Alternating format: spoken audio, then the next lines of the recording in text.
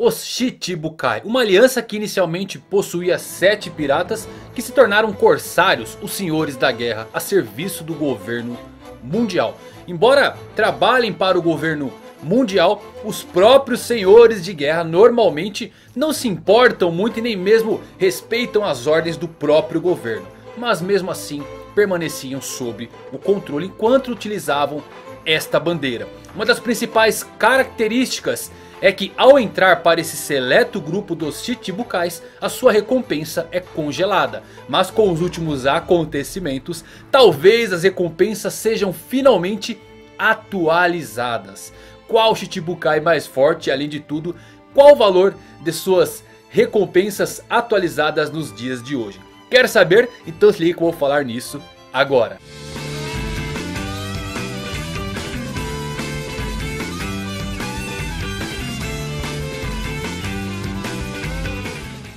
Fala galera, Evandro Fusari com mais um vídeo pra vocês, como vocês estão? Espero que todos estejam muito bem Hoje trazer mais um vídeo bem interessante Qual será que é a recompensa atualizada dos Chichibukais? Aviso que teremos spoilers do mangá se você só acompanha o anime Esteja avisado, porque no último capítulo aconteceu uma coisa muito interessante Ocorreu a dissolução desse grupo tão seleto dos Senhores da guerra. E a característica mais marcante é que ao entrar a sua recompensa é congelada. Então para onde vai a recompensa de Bug e mesmo de Mihawk? E a gente vai falar sobre isso um pouquinho. Então bora lá falar sobre os senhores da guerra de One Piece.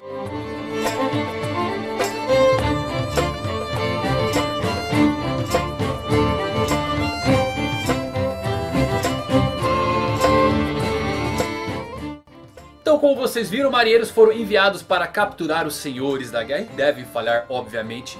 Mas com isso suas recompensas devem ser atualizadas. E se baseado em outras trajetórias de cabeças procuradas, vou tentar estipular o valor para os atuais membros dos Chichibukais. Os sete senhores de guerra originais foram estabelecidas praticamente no início da série de One Piece. E neles tínhamos Dracula e Mihawk, Crocodile, Don Quixote do Flamingo, Bartolomeu Kuma, Gecko Moria e Boa Hancock. Resumindo um pouquinho a história e a jornada de todos eles até os momentos atuais, Começamos com aquela tentativa da aquisição do reino de Arabasta por Sir Crocodile e subsequente a sua derrota para Monkey D. Luffy. O seu título foi revogado após isso e numa reunião que pretendia determinar o seu substituto aparece Barba Negra. Que enviou Lafitte para expressar a sua vontade de se voluntariar para o cargo aberto de Shichibukai. Apesar de ser relativamente desconhecido naquela época, Barba Negra ganhou a reputação que Sengoku não esperava que ele tivesse ao derrotar e capturar o próprio Portigas de Ace e em seguida entregando ele ao governo mundial, forçando ali efetivamente a iniciar aquela grande guerra contra o próprio Barba Branca. E foi durante esta mesma guerra que Jinbe renunciou ao seu título ao assumir abertamente que lutaria ao lado de Barba Branca contra os fuzileiros navais. Barba Negra que tinha assumido há pouco tempo o cargo acabou renunciando ao seu título também declarando que não utilizaria mais ele depois de libertar vários prisioneiros de Impel Down e incorporar alguns desses sujeitos bem perigosos à sua própria equipe. E após a guerra de Marineford, Gecko Moria não se mostrou mais digno do seu título e o governo mundial acabou enviando do Flamengo para matá-lo com a intenção de praticamente anular ele alegando que ele havia sido morto durante a guerra de Marineford, uma queima de arquivo. No entanto, Moria sobreviveu. Ao longo do time skip, três lugares foram preenchidos nos Chichibukais. Um foi levado por Bug, o palhaço, que obteve uma tripulação extremamente forte poderosa e uma reputação assustadora durante a guerra de Marineford. Ele acabou usando isso para atrair indivíduos mais poderosos ainda para sua organização, incluindo pessoas aí como o gigante Hairudin. Outro que conseguiu esse cargo foi Trafalgar que já tinha uma reputação e tanto em virtude de ser um dos supernovatos. Mas que mostrou o seu valor ao governo mundial. Entregando nada mais nada menos que os corações de 100 piratas. Com certeza foram extraídos aí de forma não letal através dos seus poderes de Akuma no Mi. E a terceira e última vaga foi preenchida por Eduardo Weaving, o autoproclamado filho de Barba Branca. Suas alegações sobre essa paternidade são, na melhor das hipóteses, bem questionáveis. Mas a sua força demonstrou ser comparável do próprio Barba Branca na juventude. Segundo dita por ninguém mais ninguém menos que o próprio Kizaru. E após o arco de Dressrosa, Trafalgar Law e Don Quixote do Flamengo tiveram seus títulos revogados. Law após ser encontrado trabalhando abertamente com os piratas do Chapéu de Palha sua nova aliança e do Flamengo após a sua derrota por Luffy. Nenhum dos espaços abertos após isso foi preenchido e continuaram vazios até os momentos atuais da história. Também deve ser destacado aqui que durante os primeiros dias de navegação de Pórtigas de Ace, mesmo ainda quando era o capitão dos piratas, Spade não membro da tripulação de Barba Branca, ele recebeu o convite de cargo para ser um Shichibukai, mas esse acabou recusando. Outra coisa também é que no 12º filme de One Piece, o filme Z, houve uma pessoa não nomeada que se juntou aos Chichibukais durante o time skip. Esta pessoa arrancou o braço do Almirante Z e foi nomeada durante este período. Então é mais provável que seja o próprio Edward Weevil mesmo não tendo confirmação. Porque além dele, nesse mesmo período de nomeação tivemos Bug e Lau. Mas como aconteceu nove anos atrás esse incidente entre o Almirante Z e esse futuro Chichibukai... O Lau tinha apenas 17 anos na época. Bom, vamos relembrar alguns fatos agora sobre os Chichibukais que já mudaram inúmeras vezes e são frequentemente considerados pelos próprios fuzileiros navais não tão diferentes quanto qualquer pirata bucaneiro. Por outro lado, eles também são conhecidos aí como os cães do governo e desprezados até mesmo pelos outros piratas. Mas ainda são muito temidos por ambos os lados e respeitados pela sua reputação e força infame que ganharam antes mesmo e mesmo depois de se tornarem membros dos Chichibukais. A maioria dos Chichibukais é composta por grandes veteranos do Novo Mundo. Aqueles que já encontraram com os Yonkos e até mesmo lutaram contra eles. Então vamos falar da recompensa. Para calcular uma recompensa geralmente se verifica cinco principais parâmetros de um pirata. A ameaça que seu grupo representa ou mesmo as suas habilidades de combate como afirmado pelo próprio Aokiji, o ex-almirante. Também temos caçadores de recompensa mais experientes se voluntariando para capturar esse indivíduo ou grupo. Depois temos o terceiro ponto que são atos criminosos. O quarto ponto, inspirar atos criminosos ao provocar ou incitar outras pessoas a agirem criminosamente. Como por exemplo Monkey D. Dragon levando toda a sua organização, os revolucionários, a conquistar nações afiliadas ao governo mundial e com isso recrutar mais gente. E o quinto ponto é ter conhecimento proibido e considerado ilegal pelo governo mundial, como por exemplo Nico Robin. Dos membros atuais dos Chichibukais, apenas 5 sobraram e ainda estavam na ativa quando foram caçados e tiveram seu direito revogado. Bug, que teve sua recompensa congelada em apenas 15 milhões. Bug é o ex-tripulante dos piratas Roger, capitão dos piratas do Bug, co-líder da aliança entre Bug e Alvida e o líder das entregas do Bug. Entregas essas que geralmente são feitas para o submundo. Ele também é corresponsável da maior fuga que já aconteceu em Impel Down ao lado de Monkey D. Luffy. Ele recrutou vários prisioneiros de Impel Down para sua tripulação. é considerado uma grande ameaça ao governo mundial devido às suas conexões com Gold Roger e principalmente com Shanks. Ele acabou também salvando Luffy e o Jinbe na batalha final de Marineford e isso acabou sendo notado. Ele lutou contra os piratas do Barba Branca diversas vezes no seu passado quando ainda era parte da equipe de Gold Roger. E inclusive ele sonhava em assumir a posição de Yonko. Bug fere pelo menos três princípios aí de uma boa recompensa. Uma ameaça por seu perigoso grupo de piratas, os atos criminosos que ele cometeu antes de formar essa tripulação enorme e mesmo seu conhecimento proibido entre a sua conexão com Roger e Shanks. A sua recompensa atualizada deve saltar para algo entre 300 e 600 milhões. Me baseei aqui na recompensa que Luffy atingiu após Marineford.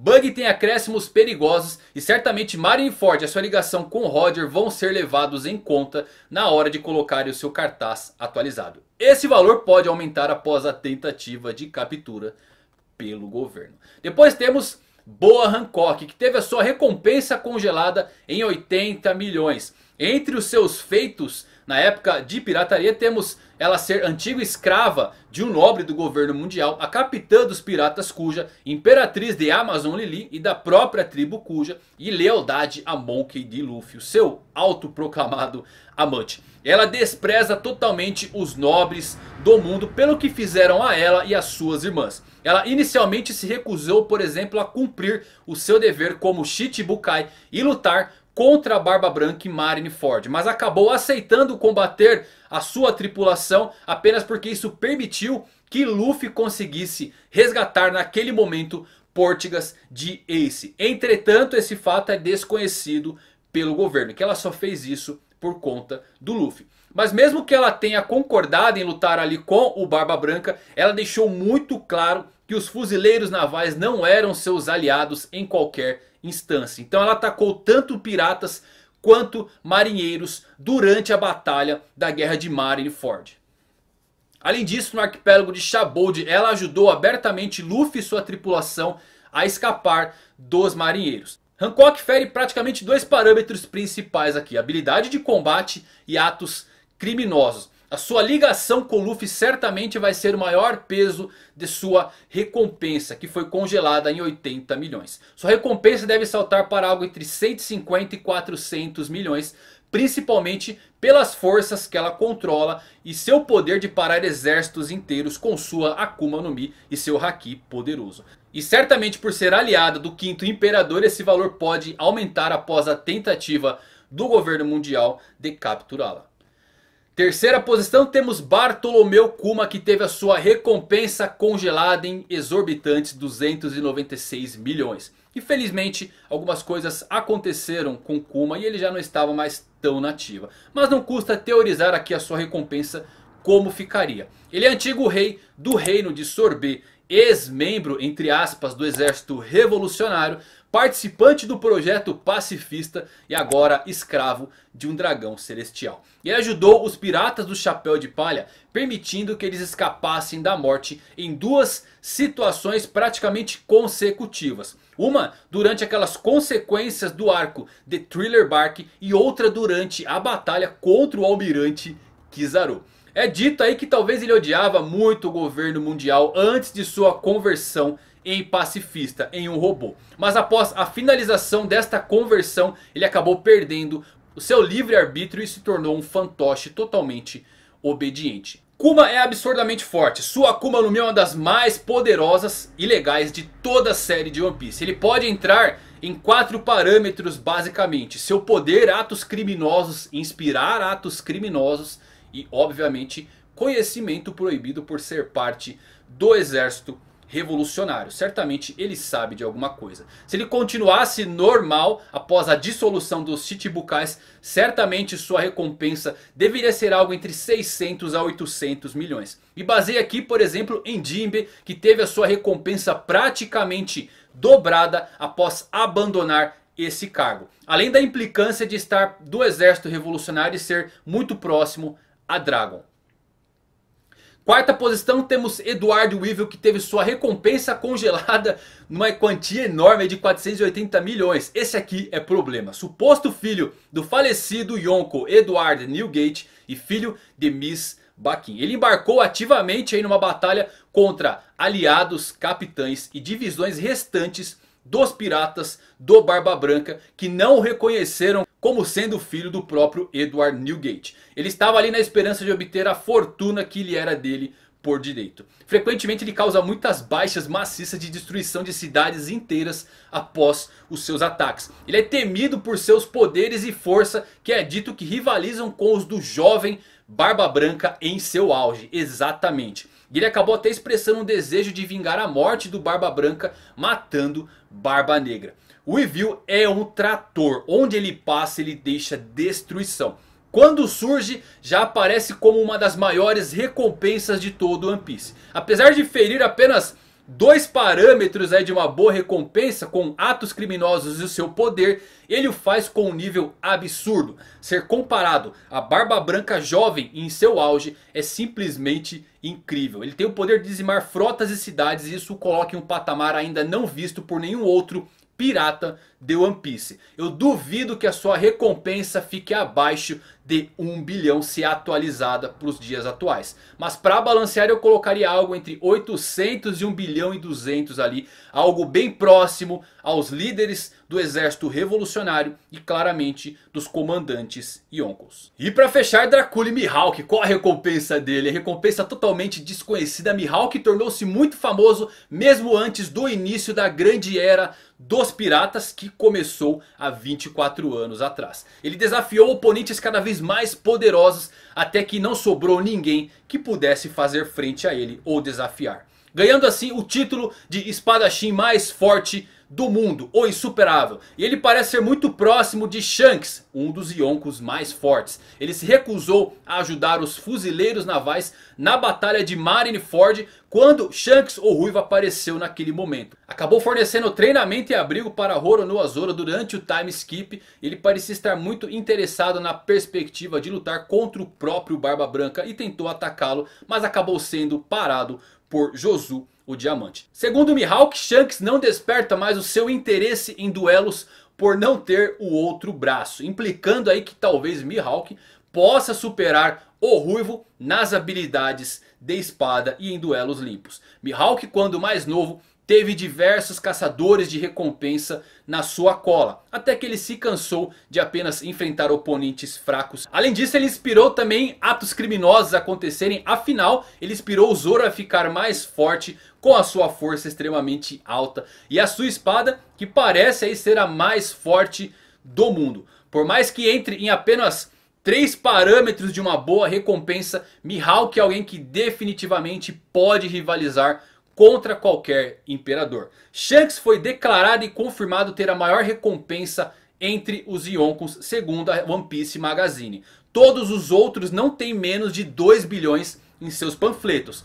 Porém, levemos em conta aqui que para os imperadores tem um adicional a mais. Contam a sua frota, sua influência, seus territórios e tudo mais. Mihawk é um exército de um homem só. E sua força é absurda e seu tempo de vivência no mar é um dos mais longos que existe. Eu colocaria sua recompensa entre 1.8 bilhões para fugir da comparação com comandantes Yonkos até os exorbitantes 2.5 bilhões. Algo bem próximo aos patamares dos maiores monstros do novo mundo. Mas isso levando em conta a aura que o personagem passa. Esse valor de repente pode ser menor porque como eu disse depende muito dos atos de tirania geralmente feitos pelos piratas. Mihawk não parece ser um cara de todo mal que ataca aldeias atrás de oponentes fortes. Ele é o tipo de pessoa que atrai o caos por conta de sua força. Mas e você? Como você acha que fica atualizado as recompensas dos atuais 5 Chichibukais que estão sendo caçados pela marinha? Deixa aqui nos comentários porque eu quero saber. Mas é isso galera, eu espero que vocês tenham gostado, se divertido. Se gostou, deixa um like, compartilhe esse vídeo com seus amigos porque o canal é de vocês. Fiquem ligados, até os próximos vídeos. Fui.